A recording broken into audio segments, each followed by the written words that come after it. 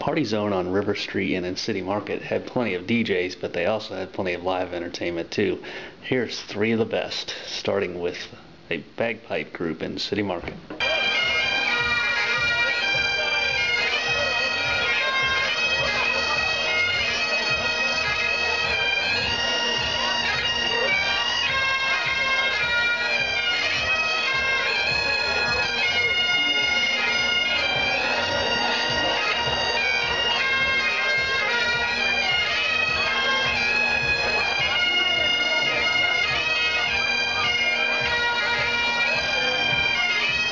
Down on River Street, this traditional Celtic band had some fans dancing on the streets.